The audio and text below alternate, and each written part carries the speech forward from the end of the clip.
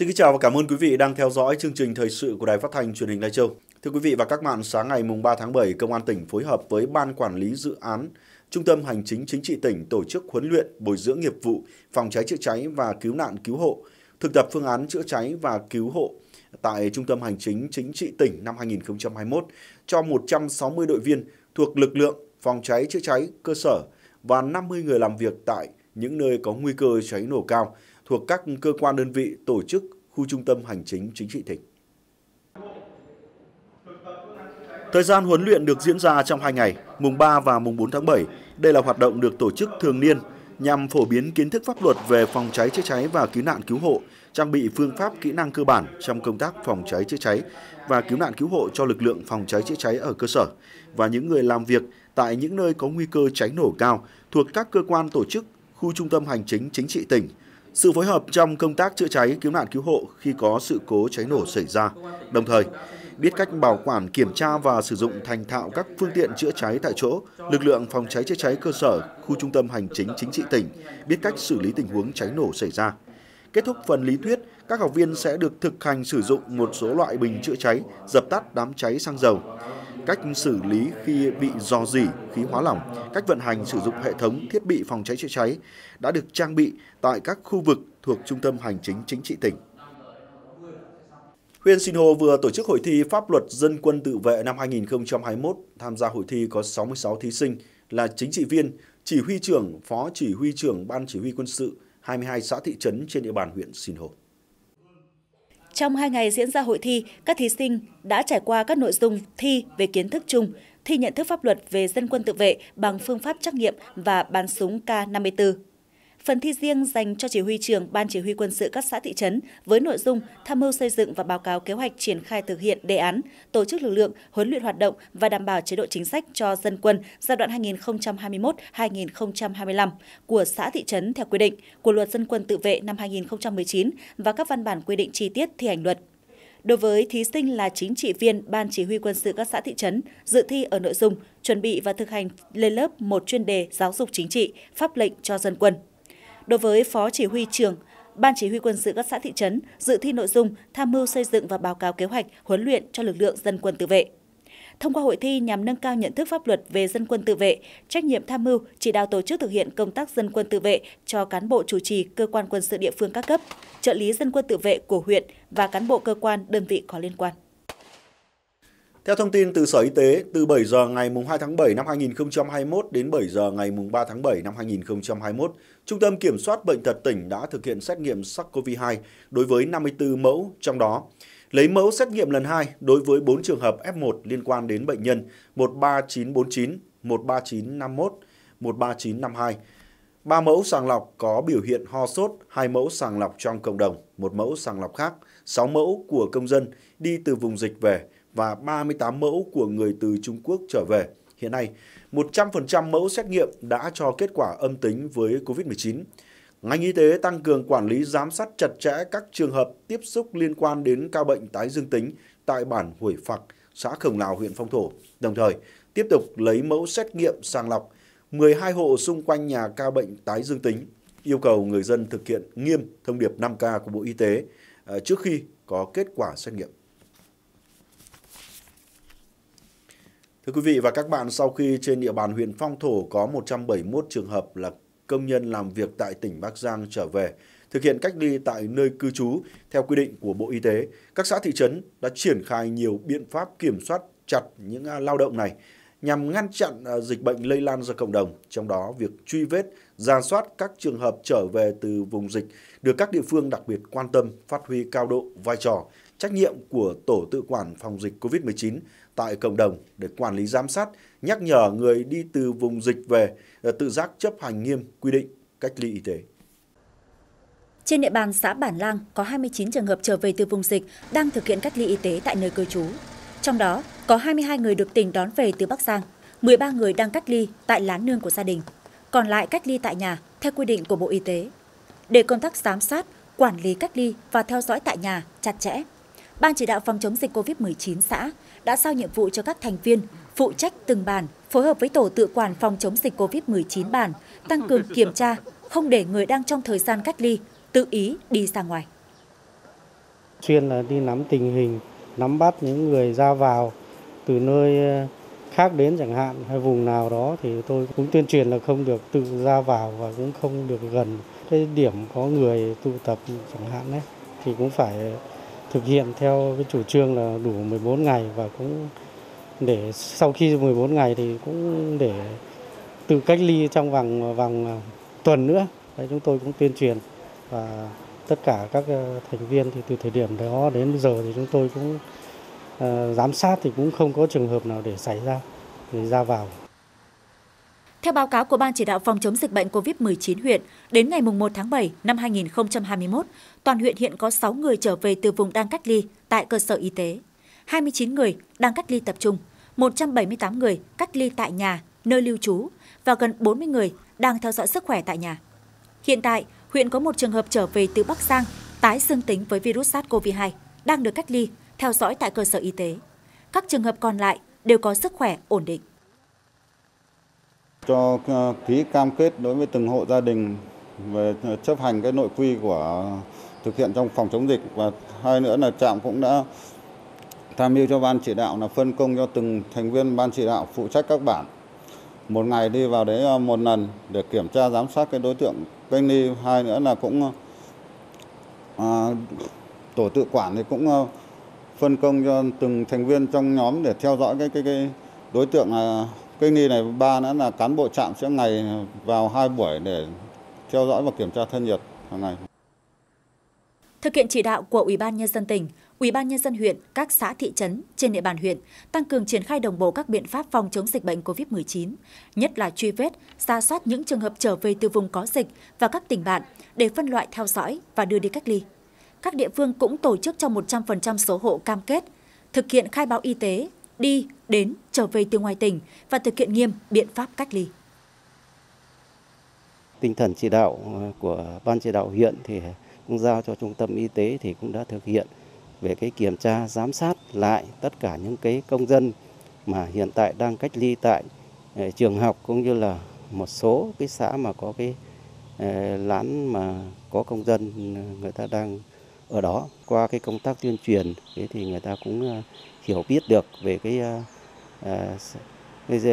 covid 19 này nó rất nguy hiểm cho nên là người ta cũng đã ký cam kết và người ta tuân thủ thực hiện theo cái cam kết đó. Trước tình hình dịch bệnh vẫn đang tiềm ẩn nguy cơ bùng phát hết sức phức tạp do có nhiều công dân trở về từ vùng dịch, Ban chỉ đạo phòng chống dịch COVID-19 huyện chỉ đạo các xã, thị trấn tiếp tục phát huy vai trò của các hội, đoàn thể, tổ công tác COVID-19 cộng đồng trong các hoạt động kiểm tra giám sát. Đồng thời, đẩy mạnh tuyên truyền người dân không được lơ là, chủ quan, thực hiện thông điệp 5K của Bộ Y tế và xử lý nghiêm các trường hợp vi phạm.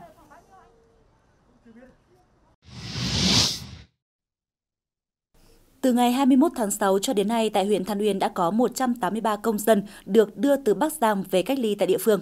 Trong đó, các xã có số công dân được đưa về nhiều, bao gồm Phúc Than, Mường Than, Mường Kim. Để đảm bảo công tác phòng chống dịch, sau khi công dân được bàn giao cho các xã đã bố trí khu cách ly tập trung tại trường học để cách ly công dân 14 ngày. Đồng thời, tại các khu cách ly đều thực hiện việc phun khử khuẩn, bố trí dung dịch sát khuẩn, Ngoài ra, để đảm bảo việc chấp hành cách ly công dân, các xã đã bố trí tổ tự quản giám sát 24 trên 24 giờ tại các khu cách ly. Qua theo dõi cho đến thời điểm này, công dân đều thực hiện tốt việc cách ly và không có trường hợp nào có triệu chứng của dịch COVID-19. Thưa quý vị và các bạn, ngày 2 tháng 7, Ủy ban Nhân dân tỉnh ban hành công văn số 1883 về việc tổ chức kỳ thi tốt nghiệp trung học phổ thông năm 2021 trong bối cảnh dịch bệnh COVID-19. Ủy ban Nhân dân tỉnh có ý kiến chỉ đạo Sở Giáo dục và Đào tạo chủ trì phối hợp với các cơ quan đơn vị liên quan. Theo đó, tăng cường tuyên truyền chủ trương tổ chức kỳ thi của Bộ Giáo dục và Đào tạo để tạo sự đồng thuận của xã hội, chỉ đạo các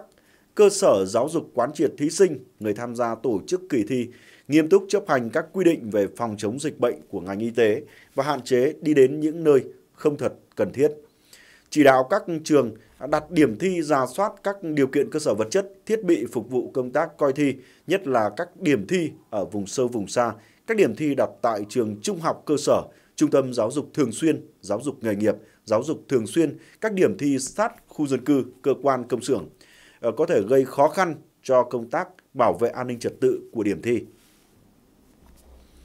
nắm chắc tình hình diễn biến dịch bệnh COVID-19 để triển khai tổ chức kỳ thi tại địa phương phù hợp với thực tế, đảm bảo an toàn tuyệt đối cho thí sinh và tất cả những người tham gia tổ chức thi. Theo đó, chuẩn bị chu đáo và tổ chức tốt đợt thi vào các ngày mùng 7, mùng 8 tháng 7 năm 2021 cho các thí sinh không ở những nơi ờ, bị ờ, phong tỏa hoặc thực hiện cách ly xã hội theo chỉ thị của Thủ tướng Chính phủ về thực hiện các biện pháp cấp bách phòng chống dịch COVID-19 và các thí sinh không thuộc nhóm đối tượng F0, F1, F2 theo phân loại của ngành y tế. Cập nhật đầy đủ tình hình thí sinh trên địa bàn các huyện, thành phố bị ảnh hưởng bởi dịch COVID-19 không thể dự thi vào các ngày mùng 7, mùng 8 tháng 7 năm 2021 và sẽ tham dự đợt thi thứ hai, tổng hợp số lượng thí sinh dự thi đợt thi thứ hai trên địa bàn tỉnh, báo cáo Bộ Giáo dục và Đào tạo trước ngày mùng 5 tháng 7 năm 2021. Đồng thời, báo cáo Ủy ban nhân dân tỉnh ra soát đối với cán bộ giáo viên nhân viên có liên quan đến yếu tố dịch bệnh COVID-19, tuyệt đối không để cán bộ giáo viên nhân viên thuộc diện nghi mắc có yếu tố dịch tễ, các trường hợp F1 và F2 tham gia vào các khâu của kỳ thi. Sở Y tế chủ trì phối hợp với Ủy ban Nhân dân các huyện, thành phố, chỉ đạo Trung tâm Y tế các huyện, thành phố trước mắt ưu tiên tiêm vaccine phòng COVID-19 cho cán bộ công chức viên chức tham gia tổ chức các khâu của kỳ thi tốt nghiệp trung học phổ thông năm 2021. Tiếp theo, ờ, tiêm vaccine phòng COVID-19 cho cán bộ công chức viên chức và người lao động trong à, ngành giáo dục, đảm bảo các điều kiện tốt nhất cho việc bồi dưỡng hè và chuẩn bị năm học mới 2021-2022 trên địa bàn tỉnh. Công an tỉnh chỉ đạo ra soát kỹ phương án đảm bảo an ninh trật tự, an toàn giao thông, phòng chống cháy nổ, kịp thời phát hiện, ngăn chặn các thiết bị vật dụng trái phép vào phòng thi, nhất là các thiết bị thu phát công nghệ cao sử dụng vào mục đích gian lận, tung tin không đúng sự thật về kỳ thi trên không gian mạng và xử lý kịp thời mọi hành vi tiêu cực gây hoang mang dư luận, đảm bảo kỷ cương và công bằng trong kỳ thi. Ủy ban nhân dân các huyện, thành phố chủ động phối hợp với Sở Giáo dục và Đào tạo, các sở ngành liên quan xây dựng phương án phù hợp để kịp thời ứng phó, khắc phục sự cố bất thường, cháy nổ, thiên tai, lũ lụt, dịch bệnh COVID-19 và các dịch bệnh khác có thể xảy ra trên địa bàn quản lý, đảm bảo tạo thuận lợi an toàn cho thí sinh và những người tham gia tổ chức kỳ thi, xây dựng phương án hỗ trợ về đi lại, ăn ở cho thí sinh có hoàn cảnh khó khăn, không để thí sinh vì khó khăn về kinh tế đi lại mà không thể tham dự kỳ thi. Thưa quý vị và các bạn, từ ngày 1 tháng 7 năm 2021 đến ngày 31 tháng 7 năm 2021, Tổng cục Thống kê tiến hành tổng điều tra kinh tế năm 2021 giai đoạn 2 trên phạm vi cả nước. Đây là cuộc ờ, tổng điều tra được thực hiện theo quyết định của Thủ tướng Chính phủ nhằm à, à, thu thập thông tin cơ bản về các cơ sở sản xuất kinh doanh cá thể, các cơ sở tôn giáo tín ngưỡng. Kết quả chính thức của tổng điều tra sẽ được công bố vào tháng 2 năm 2022. Hiện nay, Ban chỉ đạo thống kê tỉnh Lai Châu đang thực hiện nhiều giải pháp để hoàn thành điều tra đảm bảo tiến độ đề ra. Để quý vị và các bạn hiểu rõ hơn về vấn đề này, chúng tôi đã có cuộc phỏng vấn đối với bà Trần Thị Phương Nga, Phó Cục trưởng Cục Thống kê tỉnh Lai Châu. Mời quý vị và các bạn cùng theo dõi. Trước tiên xin được cảm ơn đồng chí đã nhận lời tham gia vào cuộc phỏng vấn của Đài Phát thanh Truyền hình tỉnh Lai Châu. À, vâng thưa đồng chí, đồng chí có thể cho biết cái mục đích cũng như là ý nghĩa của việc mà tổng điều tra kinh tế à, giai đoạn 2 năm 2021. Thì à, thực hiện quyết định 307 ngày 27 tháng 2 2020 của Thủ tướng Chính phủ về tổng điều tra kinh tế. Thì à, cái giai đoạn 1 thì à, chúng ta đã thu thập cái khu vực doanh nghiệp và các đơn vị sự nghiệp từ đầu tháng 3 thì đến nay là sẽ tổ chức ừ, thu thập thông tin của các cái hộ kinh doanh cá thể của giai đoạn 2 nó bắt đầu từ ngày 1 tháng 7 thì cái này là góp phần vào phản ánh cái bức ờ, tranh chung về kinh tế xã hội trên địa bàn tỉnh. Thì à, cái số lượng của các hộ kinh doanh cá thể cũng như là các cái đơn vị tôn giáo trên địa bàn thì ờ, sẽ à, thống kê được cái số lượng cũng như là doanh thu rồi là cái mức độ sử dụng à, công nghệ thông tin của các hộ kinh doanh trong à, trong hoạt động kinh doanh của của các hộ gia đình trên địa bàn tỉnh. Thì cái này thu thập trong thời gian một tháng. À, đối với ờ, Lai Châu thì có ờ, trên 11.000 hộ thì bắt đầu ra quân từ ngày 1 tháng 7. À, vâng thưa đồng chí là trong ờ, việc mà thực hiện à, tổng điều tra kinh tế giai đoạn 2 năm 2021 thì chúng ta đã có những kế hoạch và có những cái giải pháp à, và đặc biệt là chúng ta sẽ có những cái kế hoạch thực hiện à, tổng điều tra kinh tế. Ờ, vậy thì đồng chí có thể cho biết là chúng ta đã lường trước được những cái khó khăn và cái việc mà khắc phục những khó khăn này như thế nào? Và đặc biệt là áp dụng công nghệ thông tin trong việc thực hiện nhiệm vụ. Chúng ta đang phòng chống dịch. Ờ, thì cái ờ, công tác bước đầu thì cũng như là tổng cục thống kê cũng đã đề nghị bộ y tế cũng như là bộ y tế có công văn đến các sở y tế của các tỉnh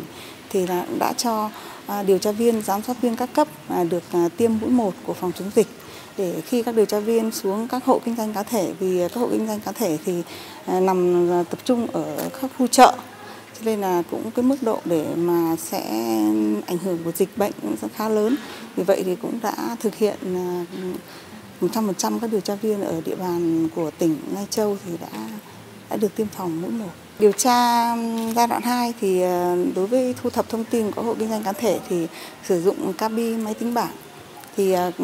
cái phần mềm này thì tổng cục thống kê ban chỉ đạo trung ương cũng đã gửi và cập nhật đến nay đã hoàn thiện và đưa vào sử dụng cho các điều tra viên thuận lợi nhất. À, vâng thưa đồng chí là chúng ta khi mà à, thực hiện kế hoạch à, tổng điều tra kinh tế thì chúng ta có những cái chế tài như thế nào trong việc mà xử phạt các cái hộ à, kinh doanh cá thể à, khi mà um, chúng ta thực hiện điều tra à, phát hiện được những cái vi phạm trong à, việc mà kê khai.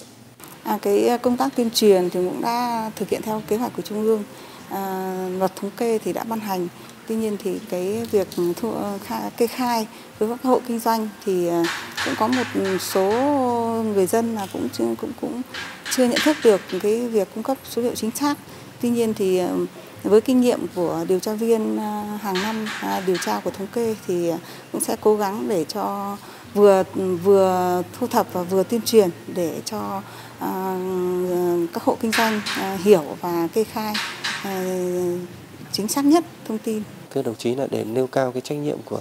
cán bộ trong việc thực hiện nhiệm vụ thì ban chỉ đạo có những cái giải pháp như thế nào? Đặc điểm của cái điều tra đợt này là không có gửi phiếu được vì tất cả là phần mềm cài trên máy tính bảng. À, phần mềm trên máy tính bảng nên à, điều tra viên phải gài phần mềm vào máy điện thoại này và xuống tận hộ để thu thập vào đây và nghĩa là không không không có phiếu cơ phiếu giấy như ngày xưa mà chúng ta cũng không thể nào mà để điện thoại đấy cho cái thao tác thì bắt buộc là phải điều tra viên trực tiếp làm. Xin được cảm ơn đồng chí. Thưa quý vị và các bạn, để chủ động ứng phó với thiên tai ngay từ đầu mùa mưa bão năm nay, huyện Tam Đường đã triển khai nhiều giải pháp phương án với phương châm phòng ngừa chủ động, ứng phó kịp thời, khắc phục khẩn trương và hiệu quả nhằm hạn chế thấp nhất thiệt hại về người và tài sản của nhân dân, ghi nhận của phóng viên thời sự. Khe suối thuộc khu vực của bản Phô Hồ Thầu, xã Hồ Thầu, vào đầu tháng 8 năm 2020 đã xảy ra lũ quét, lở đất, làm chết một người, thiệt hại một số diện tích nương thảo quả, hư hỏng một công trình cấp nước sinh hoạt và một kênh mương thủy lợi. Sau đợt thiên tai xảy ra, 39 hộ dân của bản nằm trong khu vực có nguy cơ sạt lở cao. Theo như chia sẻ của người dân trong bản thì hiện tại khu vực núi phía sau bản cũng đã xuất hiện những vết đứt gãy địa chất. Từ năm ngoái đầu năm hai à, đầu năm tháng 8 của 2020 thì trước khi sạt lở đến bản thì có 39 hộ trong bản rất là nguy hiểm. Trong để cho bà con an tâm sản xuất thì chúng tôi cũng sau khi thời tiết xấu cũng động viên bà con là bảo là dư rời ở hay những người có lán ở ngoài xa thì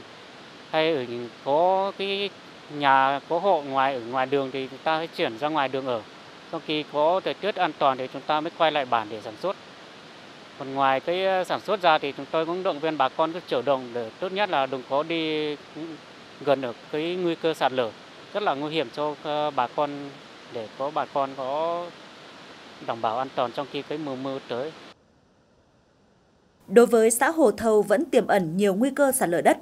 Chính vì vậy, để phòng chống giảm nhẹ thiên tai, cấp ủy chính quyền địa phương đã chủ động xây dựng các phương án, tích cực tuyên truyền vận động người dân nêu cao tinh thần ứng phó với thiên tai, đảm bảo tránh thiệt hại đến mức thấp nhất.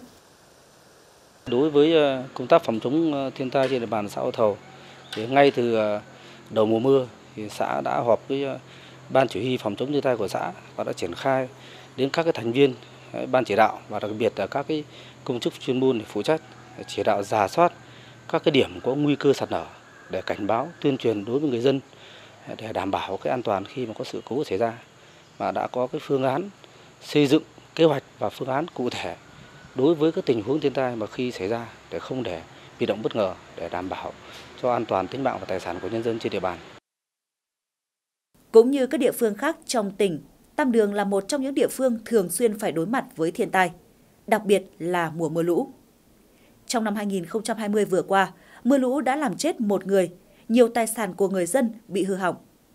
Về nông nghiệp, lâm nghiệp, mưa lũ đã cuốn trôi, ngập úng nhiều diện tích hoa màu. Nhiều công trình kênh mương thủy lợi bị sạt lở, vùi lấp. Chính vì vậy, thời điểm này, khi mà mùa mưa đã bắt đầu, để chủ động hạn chế đến mức thấp nhất thiệt hại về người và tài sản và hoa màu, góp phần ổn định xã hội và hoàn thành các nhiệm vụ phát triển kinh tế xã hội. Ban chỉ huy phòng chống thiên tai và tìm kiếm cứu nạn của huyện đã kiện toàn, phân công nhiệm vụ cụ thể cho từng thành viên, đảm bảo tính thống nhất, có sự phối hợp chặt chẽ giữa các ban ngành, đoàn thể để phát huy sức mạnh tổng hợp trong công tác phòng tránh và kịp thời ứng phó, xử lý các tình huống khi thiên tai xảy ra. Đồng thời tăng cường công tác tuyên truyền đến mọi tầng lớp nhân dân nhằm nâng cao ý thức trách nhiệm trong việc chủ động tự phòng tránh thiên tai an toàn và hiệu quả. Cũng đã phối hợp với các xã là tổ chức giả soát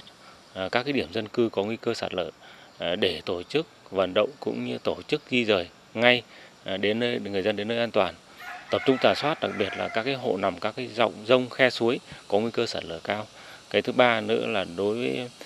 uh, cơ quan chuyên môn cũng đã tham mưu văn bản chỉ đạo là đối với các công trình đang đầu tư xây dựng đẩy nhanh tiến độ các công thi công để đảm bảo mà tránh cái mùa mưa uh, trước cái mùa mưa. Cái thứ ba nữa là trên cái cơ sở năm cái cấp độ rủi ro thiên tai thì ờ, phòng cũng đã tham mưu ủy ban huyện ban hành kế hoạch từng mức độ một ờ, để xác định được cái nguy cơ xảy ra trên bàn huyện là những mức độ nào để tham mưu cho kịp thời cũng như nhân lực vật lực ờ, để thực hiện tốt cái công tác phòng chống thiên tai trên địa bàn huyện. Với các phương án phòng chống thiên tai cụ thể, sự vào cuộc tích cực của các địa phương, cơ quan, đơn vị và nâng cao ý thức cảnh giác của bà con nhân dân. Tam Đường đang nỗ lực hạn chế đến mức thấp nhất thiệt hại do thiên tai, mưa lũ gây ra, bảo vệ an toàn về người và tài sản cho nhân dân.